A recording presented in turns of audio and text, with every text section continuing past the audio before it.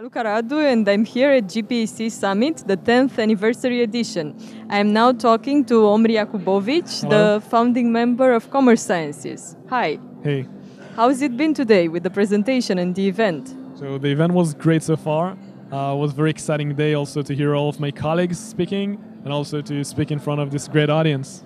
And uh, for those who haven't been to the conference today, could you sum up your presentation a little bit because So- it had a very interesting title. I appreciate it. So first, I'd recommend all of them to come for you know next year's uh, conference.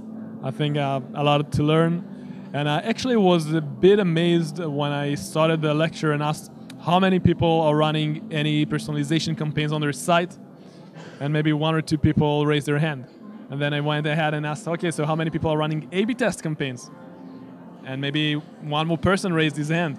And that's actually very interesting because I can imagine that most of you are spending tons of money and resources to drive traffic to your site to eventually get only 2.2% of them convert into shoppers. So isn't it ridiculous to keep spending more and more money on bringing traffic while the conversion rates are that low? It is. And today, uh, during the presentation, I shared some best tactics uh, in order to increase conversion rate, average order value, uh, based on different personas or based on different segmentations. And from what we've seen, you could have a huge impact on conversion rate when you're trying to, when you're segmenting the right people with the right uh, message. And that could be, for example, targeting first-time visitors uh, that are about to leave the site and encouraging them to sign up for your newsletter just for a small incentive. And the reason that it's so efficient because if you look into your email campaign uh, funnel, you'll see that that's the highest converting funnel. So why won't you pull more people into that funnel to get more sales? Uh, I think that most people are talking about increasing conversion rate, which is good, but it's a bit hard thing to digest and, and do. And what you do want to consider is the different KPIs to target different type of people. So first-time visitors, micro convert them into email campaign. This is great. How about repeating visitors? Probably the conversion rate among this population is much higher. So getting the conversion even higher than the current one would be challenging.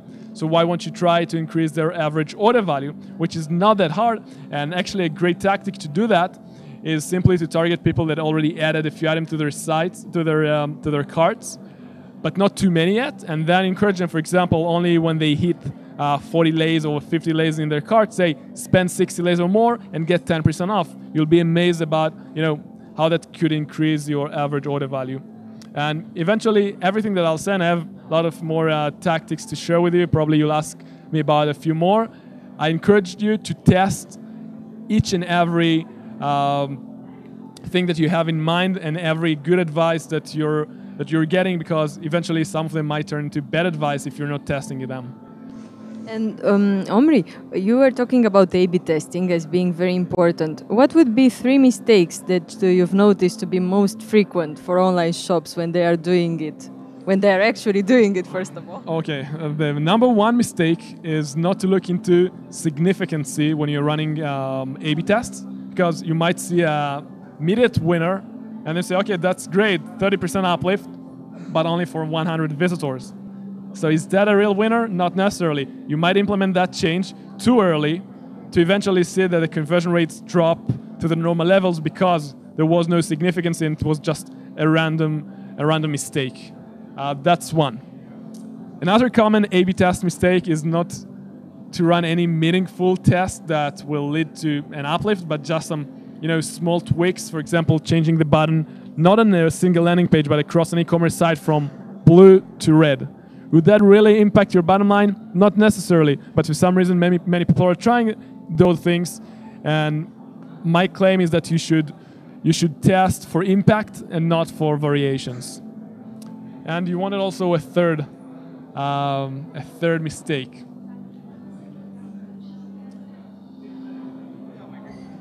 So th- that- that- Something linked with the segments and the buyer personas.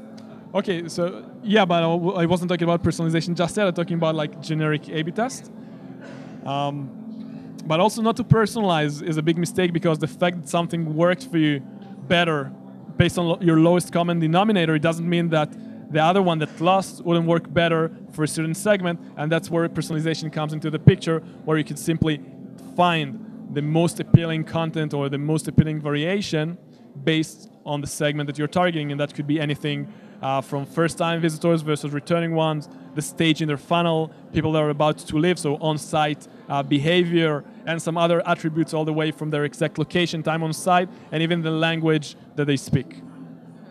And if you are talking to, about personalization and buyer personas, I wanted to ask you how should you prioritize the personas you're focusing on? Because yeah. obviously, yeah. Um, one big mistake when it comes to personalization, and then I'll also answer your question, is that people are trying, they're overwhelmed with the idea that they can target their visitors based on over 40 different dimensions. So they might create two narrow segments, and obviously that's a mistake because it will take a long time to see uh, the results, a lot of work to create many segments, and it won't work. So the right way to do that is to find your lowest hanging fruits, meaning the pages with the highest potential uh, so that could be pages with lots of traffic but low conversion rate, or pages with very high amount of traffic but low bounce rate. Now keep in mind that it's not only about the amount of traffic that you get to the site, but also um, the conversion rate. So if you, to begin with, you have a high conversion rate, um, lower amount of traffic could be just enough. On the other hand, if you have a very low conversion rate, you'll need a very high amount of traffic in order to get uh, significant results. And you can always um, get an assistance when you're planning a personalization campaign or an A/B testing with a significance calculator, so you could see how many traffic you need in order to get uh, results. And obviously, we do have also a significance calculator, so you could search for uh, significance calculator and commercesciences.com, and you'll find the right page to help you plan your experiments. Okay, so a lot of mathematics and diagrams and so on. But, but very simple. All you need to fill in is just the amount of your traffic, mm-hmm. um, your current conversion rate, and then you need to see based on your hypothesis how much lift would you expect, and to see if, if it's in the right time frame and the right and amount of traffic. How does your tool, Commerce Sciences, help in this journey? So basically, our tool allows our customers first to understand their shoppers, to understand what they should be optimizing, and then more important, to optimize it without the hassle of long IT cycles, etc. So once the tag is in place, uh, you could enter our dashboard, define the segments that you want to target, or just the entire traffic if you want to run an A/B test, and then create um, whatever version that you want on your site with a few clicks of a button, removing one component from one side of the screen to another side, maybe eliminating components because some cases you see that too many options are creating paradox of choice, which actually paralyze the shoppers. So instead of having them make any decisions, they will just run away. And you can also create additional overlays, and that could be the exit uh, email sign up messages, coupons, bars to emphasize your policies all the way from free shipping to the shopper's exact location rather than, you know, offer free shipping across the state. This is nice, but most people would screen it. Why won't you have uh, a bar, for example, a floating bar that will go with the shopper and emphasize your free shipping policy to their exact location, let's say Chicago.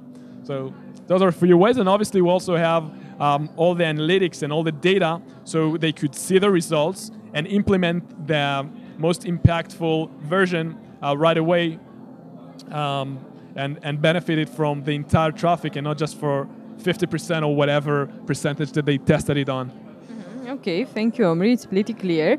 Uh, one last question sure. to end the interview. Could you give us an example of a specialist in conversion optimization that you admire and follow in order to recommend it to our viewers? Of course. So there are a few blogs uh, that I'd recommend you to view. One of them um, is Bryan Eisenberg's blog.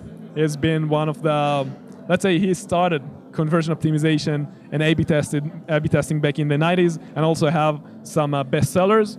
Um, you have Brian Massey's blog, Conversion Scientist, that also lectured here today. Uh, ConversionXL is a great blog, and also blog.commercesciences.com is a great resource uh, for learning about A/B testing, personalization, and okay. the right stuff. Thank you, Omri. Thank you very much.